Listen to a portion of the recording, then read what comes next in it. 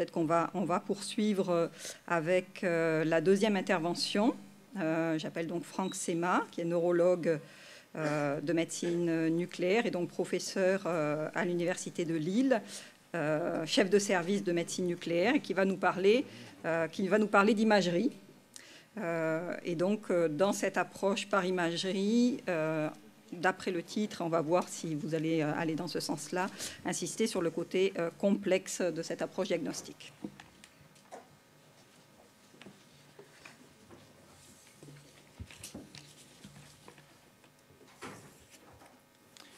Eh merci bien de m'avoir invité à, parler euh, effectivement de, complexité de l'imagerie. Demander à un imageur de parler de complexité de l'imagerie, c'était un pari difficile. Et donc, euh, je vais tout de suite vous décevoir. J'ai pas l'impression que ça soit très complexe. Donc, euh, je vais essayer de vous montrer pourquoi, finalement, moi, j'ai pas cette impression-là, euh, mais qui, est quelque chose d'intéressant, hein. puisque l'imagerie peut être au cœur d'une des discussions qu'on a depuis ces quelques jours sur la question vouloir savoir. Vouloir savoir, effectivement, on a parlé de la génétique, on parle des biomarqueurs du LCR. L'imagerie fait partie des outils qui, euh, d'examen paraclinique qui permettent peut-être d'apporter un, peu, une petite réponse à vouloir savoir. C'est passionnant pour un imageur de voir cet engouement pour l'imagerie, mais c'est aussi intéressant de voir toutes les polémiques que suscite l'imagerie euh, les polémiques, les débats avec les cliniciens, les politiciens, les payeurs. En fait, tout le monde a son avis sur euh, c'est utile, c'est pas utile. Les questions que se posent les imageurs ne sont pas les bonnes questions. Et finalement, on se demande vraiment si ce sont les imageurs qui se posent des mauvaises questions ou si c'est les gens qui imaginent ce que l'imagerie pourrait apporter sans vraiment savoir ce qu'elle apporte puisqu'en tant qu'imageur, je n'ai pas vraiment l'impression qu'on se pose le type de questions dont on entend parler par euh, nos politiques ou les payeurs. Alors pour, essayer de, faire le point sur la complexité de l'imagerie, je crois que ce qui est complexe en imagerie, ce sont les progrès et les techniques euh, qui, qui sont utilisées. Alors on peut reprendre une métaphore euh, classique euh, par exemple, comparer l'imagerie à notre appareil photo numérique. Finalement, c'est une imagerie comme une autre. Moi, j'aime bien l'imagerie euh, euh, à l'hôpital, mais j'aime bien aussi la photographie. Et je me souviens très très bien du premier appareil photo numérique que j'avais acheté. Alors comme imageur, bien sûr, passionné par l'imagerie, il y a une nouvelle technique qui sort. Je me précipite, je l'achète. 0,3 millions de pixels, il y a un peu plus de 10 ans. Alors, la qualité photographique de ces appareils était catastrophique. Et si on compare à nos appareils photo euh, d'aujourd'hui, allez, on ne va pas comparer aux appareils photo. On va comparer à notre téléphone. Alors, j'ai un vieil iPhone. Vieux, il doit avoir au moins un an, un an et demi, vous imaginez Il fait 8 millions de pixels. Et je pense que les, progrès qui ont, été faits en imagerie correspondent tout à fait finalement aux progrès euh, que l'on voit dans la vie de tous les jours, nos appareils photo, nos téléphones, nos ordinateurs. Et très difficile de, réfléchir à l'imagerie sans, penser à tous ces progrès technologiques. Alors Fabrice Hill avait fait une, comparaison que j'avais bien aimée euh, il y a deux jours avec le docteur House. Le docteur House qui voulait toujours chercher la vérité. Alors pour chercher la vérité, hein, euh, il nous en a parlé très bien il utilise tous les moyens qu'il peut. Et c'est une vraie quête de la vérité. Et, en tant qu'imageur, quand je regarde ou que je regardais un épisode de Dr House, moi, ma, quête, c'était de savoir, mais qu'est-ce qu'il va utiliser comme technique d'imagerie? Et on voyait le patient rentrer dans la, dans, dans la machine, et moi, je me demandais, mais c'est quoi la machine? Et quand vous regardez un peu les machines d'imagerie euh, qui sont derrière moi, qui sont toutes des machines modernes, finalement, une machine d'imagerie, ça ressemble à une autre machine d'imagerie. Et c'est assez, assez difficile quand même de reconnaître une machine d'imagerie quand on n'est pas imageur, une, une machine d'une autre. Et il y a beaucoup, beaucoup de technologies, et ces technologies, pour tout compliquer maintenant, sont toujours des technologies hybrides. Hybrides, c'est-à-dire qu'elles font appel à plusieurs machines en même temps, de la médecine nucléaire, et de la radiologie, c'est-à-dire du scanner ou de l'IRM pour la radiologie, couplé à de l'imagerie, soit SPECT, scintigraphique, tomoscintigraphique, soit PET. Nos scintigraphies SPECT sont couplées avec un scanner, nos tomographies par émission de positons sont couplées à un scanner, et puis maintenant à une IRM. Enfin, on est un peu en retard en France là-dessus, mais tous, les pays autour de nous sont équipés de, de PET et couplés à des IRM. Donc les progrès technologiques ont été euh, extrêmement importants dans, la, dans, dans les machines de détection. Mais les machines de détection, finalement, c'est une partie de l'imagerie. Dans l'imagerie, on a l'imagerie de structure, l'imagerie anatomique, euh, qui est une imagerie radiologique, le scanner. Bon, le scanner, plus personne ne l'utilise, donc on ne va pas parler de scanner, donc en gros l'IRM. Et puis toute l'imagerie qu'on appelle maintenant moléculaire.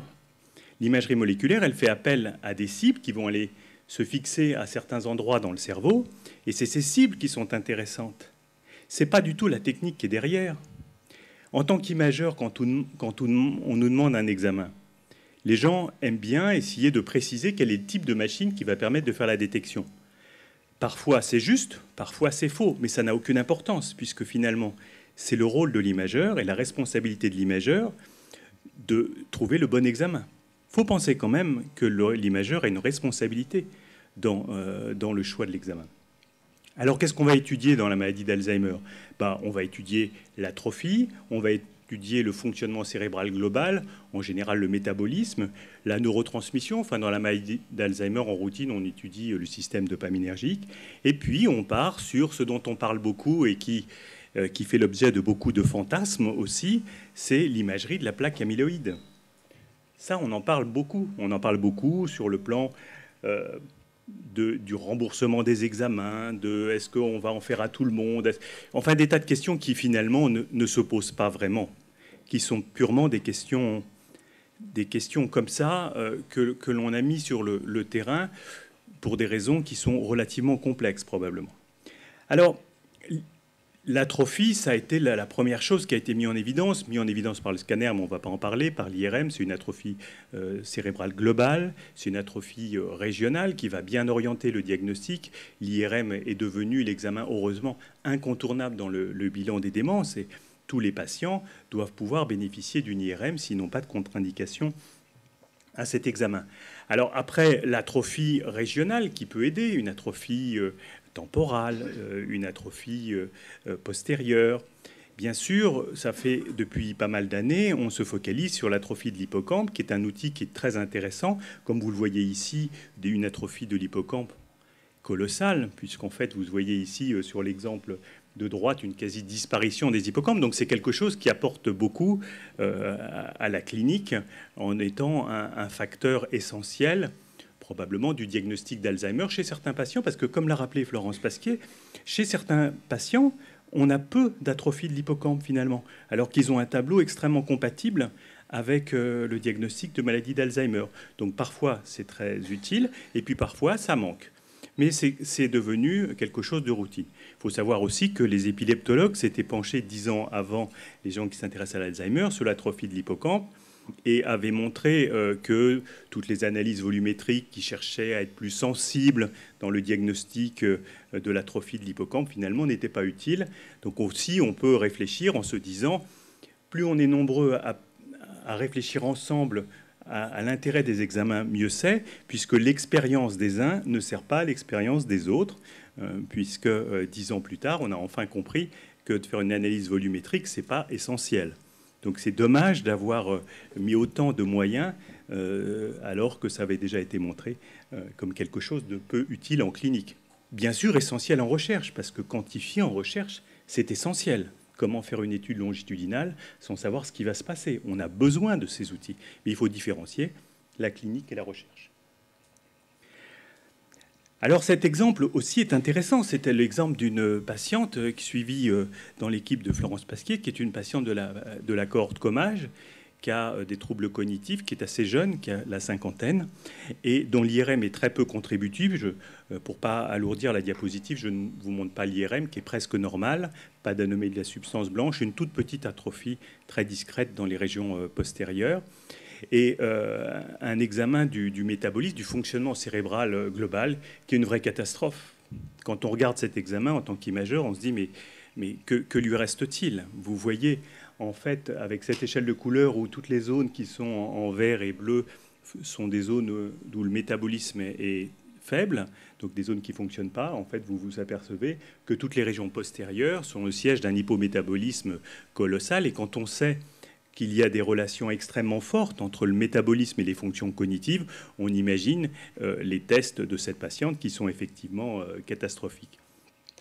Alors, euh, Florence Pasquier avait déjà amené ce sujet-là de, de, la place du FDG. Et j'ai bien compris dans son intervention que j'avais bien apprécié que finalement, ce n'était pas si complexe et que chez certains patients, on a vraiment besoin d'en savoir plus elle avait insisté bien sûr sur des patients jeunes, et c'est peut-être une meilleure indication euh, du FDG. Et dans ses propos, comme dans notre pratique, euh, dans nos échanges ici à Lille, j'ai pas l'impression que finalement les indications se discutent beaucoup. Elle ne demande pas, toute l'équipe ne demande pas tant d'examens que ça. C'est-à-dire qu'il y a une présélection euh, des dossiers qui nous sont adressés. Cette présélection est tout à fait correcte. On regarde les demandes, on fait les examens, ça représente très peu de leurs patients. Et on a l'impression que ces patients vont bénéficier euh, de l'examen. Donc finalement, la question, le reproche qu'on peut faire parfois aux imageurs que c'est complexe, qui pousse aux examens, ne correspond absolument pas à la réalité, puisqu'en fait, les, les cliniciens nous adressent les demandes, et en fonction de la demande, on réalise cet examen ou on ne le réalise pas. Il faut aussi penser que l'imageur a la responsabilité de ne pas faire l'examen s'il pense que euh, ce n'est pas adapté et euh, honnêtement, ça arrive assez souvent. Alors bien sûr, c'est exceptionnel avec des équipes très spécialisées. C'est pas rare du tout avec des gens qui ne sont pas spécialistes du domaine, qui nous demandent des indications qui ne sont pas les bonnes. Donc on ne peut pas, même pas réorienter sur un autre examen. Alors on parle souvent de l'exactitude, de la fiabilité. D'ailleurs, c'était dans le résumé euh, qui était sur le programme, de la fiabilité de l'imagerie. Ah ça, c'est une vraie question. Et c'est vrai que c'est une question qui mérite d'être posée. Est-ce qu'on est sûr de ce que l'on voit? Est-ce que ce que l'on voit est pertinent?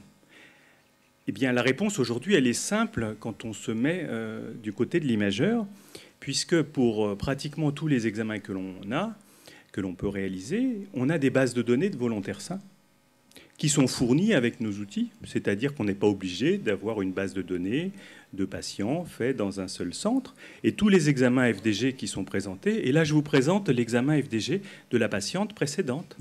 Et sur la partie inférieure, en fait, vous avez, avec l'échelle de couleur, toutes les zones qui sont significativement différentes d'une population contrôle. Donc, en fait, ce sont toutes ces zones ici. voyez? Donc, ça, c'est en deux clics, c'est 30 secondes d'examen. Et donc euh, c'est une analyse statistique individuelle avec des bases de données pour différentes tranches d'âge de patients, bien sûr, hein, qui sont fournies par les constructeurs.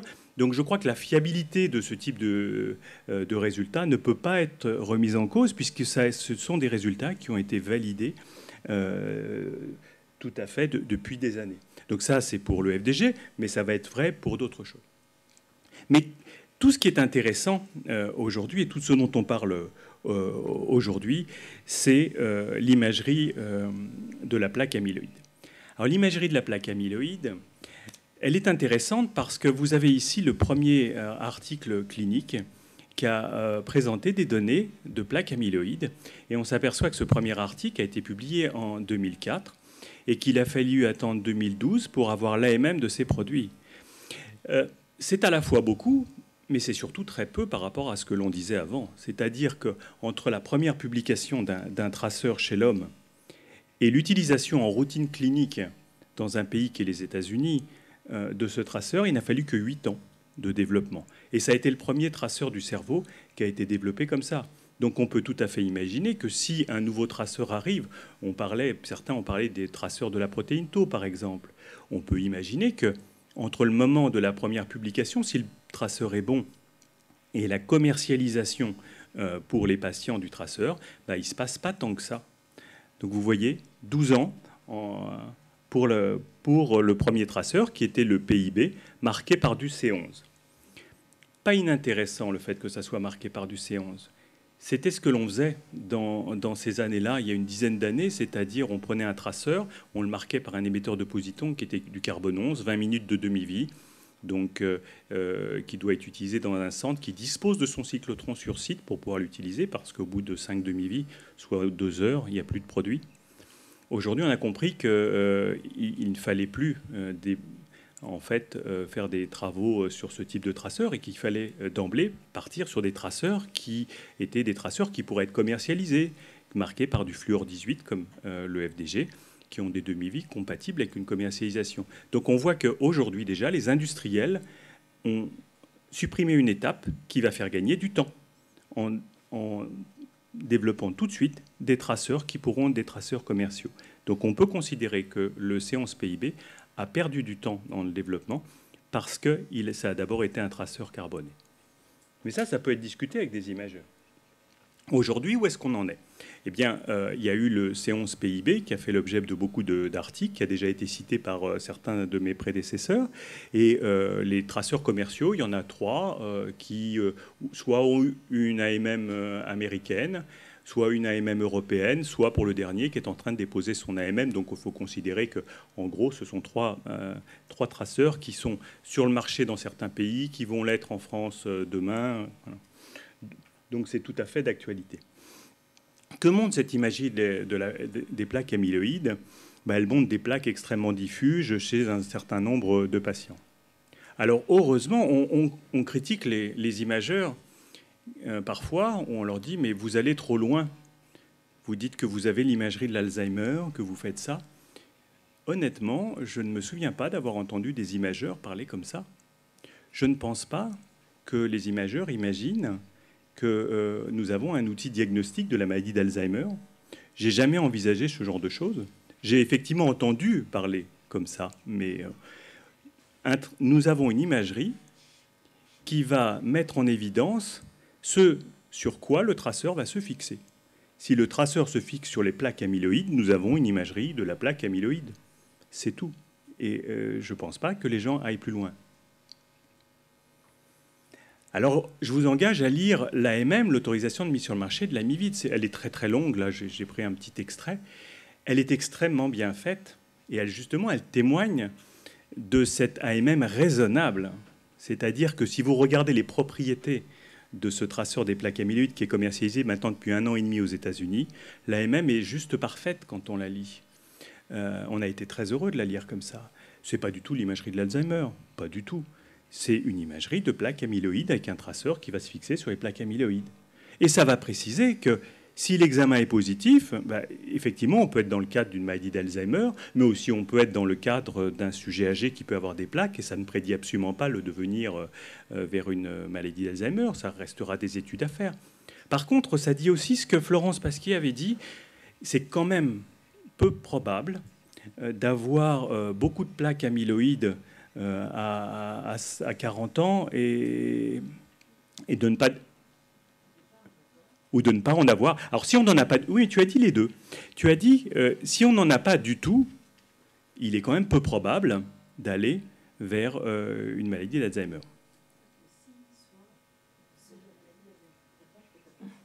Hein?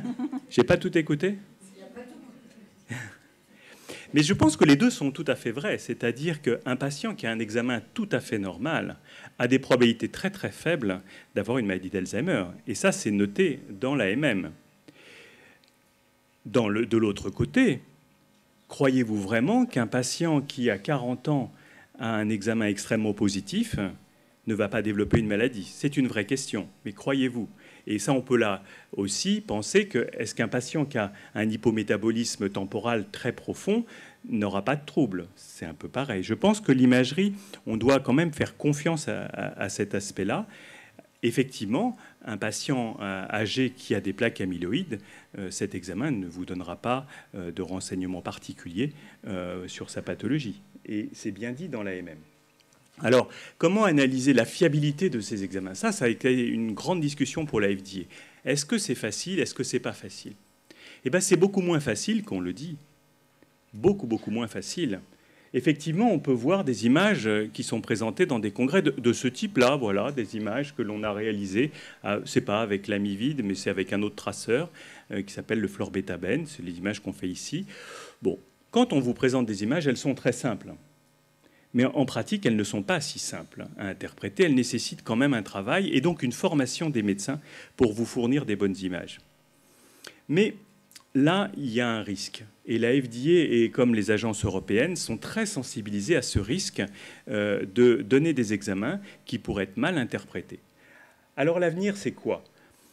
Alors la FDA dit, bah, ça sera plus facile en noir et blanc. Bon, pourquoi pas? Imaginons. Les Américains ont l'habitude de, regarder euh, les examens TEP en noir et blanc. Pas tellement nous. On vous présente toujours des images en couleur. Mais en fait, ce sur quoi on va, ça sera ma dernière image, ce sont vers des analyses automatisées. Et ça, c'est une analyse automatisée euh, euh, de Flore Betaben. Euh, avec, nous travaillons avec un laboratoire allemand qui développe des logiciels particulièrement performants qui correspondent un peu à ce, que je vous ai montré tout à l'heure avec le FDG, c'est-à-dire des bases de données de volontaires avec tous les traceurs de la plaque amyloïde. Ces bases de données euh, pourront être comparées à un, simple examen euh, du patient et vous fournir une analyse statistique reportée sur l'IRM. Et là, vous avez une échelle de couleurs dans les régions dans lesquelles il y a des plaques amyloïdes. Donc, de toute façon, je pense que euh, cette imagerie va passer par ces outils logiciels qui sont sûrement nécessaires. Euh, pour avoir testé beaucoup de ces logiciels, je vous assure que ce sont des analyses très rapides parce qu'on peut, on a entendu dire aussi que parfois il fallait une demi-journée, une journée de travail pour arriver à sortir ça. Non, je vous assure que cette image-là, euh, il faut euh, aller une minute trente quand on n'est pas exercé, une minute quand on est exercé, ça dépend aussi de l'IRM, si on arrive à la recaler très vite ou pas, mais pas plus. Donc je pense vraiment que euh, cette imagerie-là, euh, c'est une imagerie que l'on peut considérer comme une imagerie extrêmement fiable aujourd'hui et qui n'est pas sujet à une subjectivité euh, des imageurs. Alors en fait, donc moi je suis vraiment convaincu que toutes ces techniques d'imagerie méritent d'être suivies et que c'est quelque chose qui se fait en collaboration avec le clinicien et que les problèmes d'indication vont être réglés par l'usage, Hein, l'usage, les cliniciens ne vont pas demander des examens s'ils ne sont pas utiles. Et au bout de quelques temps, il va avoir un bon équilibre euh, des choses qui va se faire, l'usage, les AMM et une collaboration entre euh, nos centres. Voilà, je vous remercie.